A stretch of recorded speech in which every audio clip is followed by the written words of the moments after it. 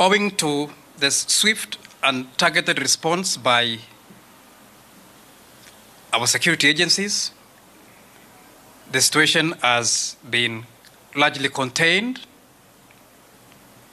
and six out of the seven floors of the hotel building has been secured. And as I said, the operation to, continues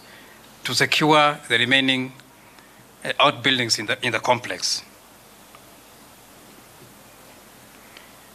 At this juncture, we would want to caution members of the public that sympathizers of these criminals have taken to the internet